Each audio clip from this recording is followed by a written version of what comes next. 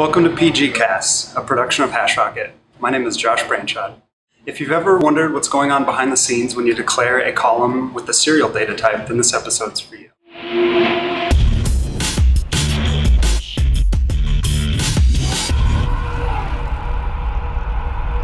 Now, if you've been working with Postgres for at least a little while, you're probably used to seeing tables created with an ID column using the serial keyword.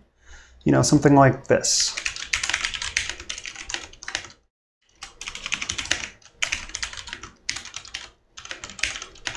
You know, we often see it with an ID column. Now, in this episode, I want to take a look at that serial data type and explore what it is that happens when we define a column as serial.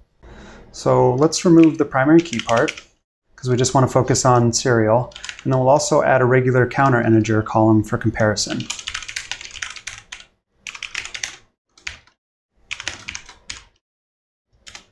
So that created our table. This is a users table with an ID column and a counter column, and we can see what that looks like.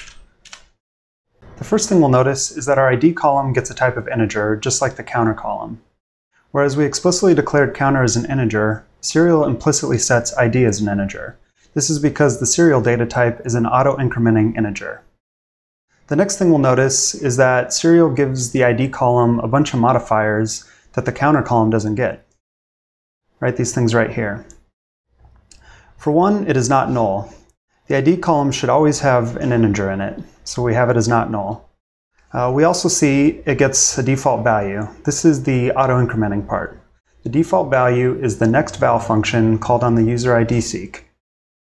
This ensures that we have unique, monotonically increasing values for our ID column. Every time we insert into the users table, the default value for ID will be the next value in that sequence. This of course assumes that we always let the ID be set to its default value. Okay, so our default value is based on a sequence, but where does that sequence come from? Because I don't remember creating one. Well, if we look at the objects in our database, we'll see that there is a sequence defined. When we declare the ID column as serial, a sequence was created for us. Postgres named the sequence based off of the name of the table and the name of the column, hence user's ID seek.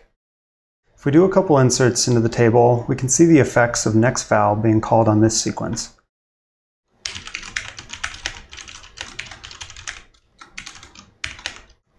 Now we'll just insert values for the counter and we'll let the default value take effect for the ID column.